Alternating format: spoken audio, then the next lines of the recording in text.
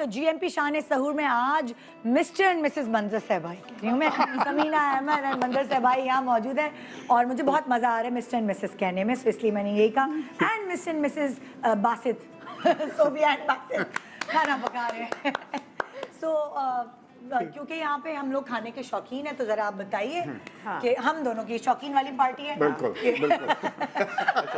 आज मैं। शहरी की डिश बना रहा हूँ। फेनियाँ बहुत खाई जाती हैं शहरी के अंदर रमजानों के हाँ। अंदर तो उसका फ्यूजन क्या है फेनी शॉर्ट्स फेनी शॉर्ट्स जी इसको हम ग्लास में सर्व करेंगे। अच्छा। और इसका जो मिल्क होगा वो जैसे रबड़ी दूध बनता है उस तरीके का इसका मिल्क बनाएँगे अच्छा। उसके लिए हमें चाहिए होगा वन लीटर मिल्क ठीक है। उसके अंदर 250 ग्राम जो है मैं खोया ऐड करूँगा। हाँ। और उसको तकरीबन स्लो हीट के ऊपर 20 से 25 मिनट को पकने देंगे। ठीक है। जब ये पक जाएगा इसके अंदर पाँच से छः चम्मच हम चीनी के ऐड कर देंगे। हम्म। चीनी के ऐड करने के बाद इसके अंदर मिक्स ड्राई फ्रूट है। अच्छा। वो हम ऐड क्या क्या? जैसे किशमिश ये वो किशमिश है इसके अंदर इसके सारे ड्राई फ्रूट बारीक बारीक किए हुए हैं ड्राई फ्रूट लेके इसको मिक्सर जो आता है उसके अंदर हमने इसको ब्लेंड कर लिया। ब्लेंड कर लिया। ठीक है? इसके बाद हम इसको पकने देंगे। पकने के बाद जो है हमारी फेनी होंगी। मिल्क हमारा रेडी हो जाएगा। ये हम ग्लास के अंदर डालेंगे। तकरीबन हाफ़ अच्छा वो हाफ़ पूरा मिक्सचर जी। दूध मेवा फेनी। फेनी नहीं डालेंगे। फेनी नहीं डालेंगे। अच्छा। मिल्क पहले इसके अंदर हाफ़ डालेंगे सही है। और ऊपर से तोड़ के इसको हम फेनी स्टैंड खड़ा कर देंगे। अच्छा। उसको आप चम्मच से ऐसे खा भी सकते हैं उसके बाद जो मिल्क बन जाएगा वो आप इजीली पी लें। और इसके बाद मेरे पास सीजनल फ्रूट है कोई भी स्ट्रॉबेरी बनाना या एप्पल उसके साथ हम सीजनल फ्रूट भी ऐड करेंगे। मतलब मतलब ऊपर उसको ऊपर ऐसे सॉलिड Solid. फ्रूट डालेंगे कि उसको काट के काट के इसके स्लाइस मतलब उसको नहीं नहीं ब्लेंड नहीं करेंगे। इसके बारीक बारीक स्लाइस करके वो कोई भी आप फ़ूड अगर कर गार्निश कर तो सकते हैं। जो भी पसंद है। वो फिर ब्लेंड blend करेंगे कर तो गर्म उसका फ्लेवर जो है ना गर्म और ठंडा होता है तो उसका फ्लेवर चेंज हो जाएगा। वो पक जाएगा फ्रूट जो होगा ना। अच्छा। इसलिए कुछ ये क्रिस्पी क्रिस्पी रहेगा या ये नरम हो क्रिस्पी जाएगा? रहेगा। अच्छा। ये थोड़ा सा डिफरेंट है मतलब बिल्कुल ही पतला नहीं अब तो होगा। एंड में लाओगे तो फिर हम बिल्कुल। दिखाएँगे फिर आप चख के बताएगा खास है कि नहीं। हाँ। ठीक है आप सोबिया क्या बना रहे हैं? आज हम बना रहे हैं इफ्तारी में फ्यूजन कर रहे हैं पिज़्ज़ा हाँ। और शवरमा का अच्छा। बेसिकली हम बना रहे हैं पिज़्ज़ा शवरमा पिज्जा जी पिज़्ज़ा शवरमा बना रहे हैं उसके लिए हमने चिकन ले लिया हाँ। आ, उसमें हमने कोई भी बारबेक्यू मसाला ले लें बिहारी बोटी और जो भी आपको पसंद हाँ। है। बारबेक्यू में आप वो मसाला ले लेंगे। हमने टू टेबल स्पून बारबेक्यू मसाला डाला वन टेबल स्पून लहसन का पाउडर अदरक का powder one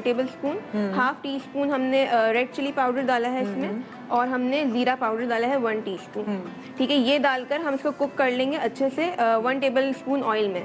थोड़ा सा इसको जूसी रखेंगे अच्छा। और बाकी जो हमारी सारी टॉपिंग होगी वो पिज़्ज़ा वाली होगी। हमने टोमेटो ले लिया onion capsicum olive jalapenos mushroom ले लें जैसे वो पिज़्ज़ा जो भी आपकी होती है फेवरेट आप हाँ। वो ले लें ठीक है? हमने क्या करना है फिर हमने पीटा ब्रेड ले ली। अच्छा। पीटा ब्रेड को हमने तवे में रखेंगे ठीक है? हमने उसको दोनों साइड से सेक लेंगे हम। सेकने के बाद हमारी जो अंदर की जो फिलिंग होगी ना उसमें हम चिकन डालेंगे और ये सारी फिलिंग डाल के हम मोजरेला और चेडर चीज़ डालकर इसको ऊपर से यू बंद कर यू लॉक कर दिया। जी। अच्छा। ये यू लॉक हो जाएगा अंदर आपकी सारी स्टफिंग होगी। ओके ठीक है, उसके बाद जो है हम ऊपर वापस से मोजरेला चेडर चीज़ डालकर ये वापस हम टॉप करेंगे वेजेस से और ऑरिगेनो तो डालकर और मेल्ट होगी तो जी ऊपर से वो पिज़्ज़ा की तरह शेप होगा और अंदर से जो है वो पीटा ब्रेड है।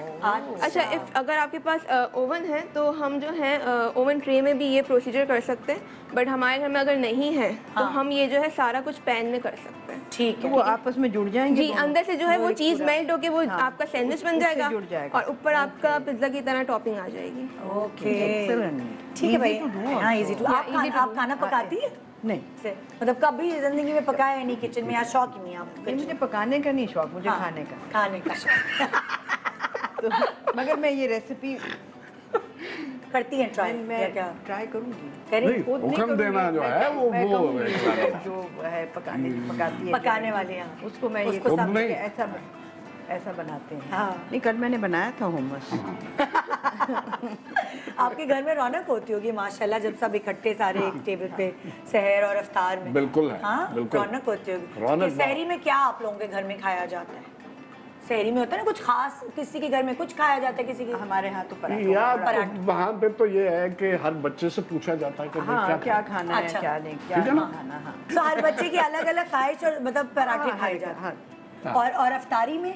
इफ्तारी में भी इसी किस्म की चीज़ें हाँ, फिर भी फरमाइशें होती हैं होती हैं लेकिन हाँ। वो होते हैं चने चाट और दही बड़े ये तो पकौड़े वकौड़े टाइप चीज़ें ये होता ही है। है हाँ। फिर फिर वो होता है ना उनका कि हमने पिज्जा खाना है हमने बर्गर खाना अच्छा। फिर फ्रेंच फ्राइज चाहिए बच्चों को अंग्रेज़ी खाने चाहिए। हाँ, बच्चों को चाहिए खाना कम है। हाँ, हाँ, ये तो ये तो है।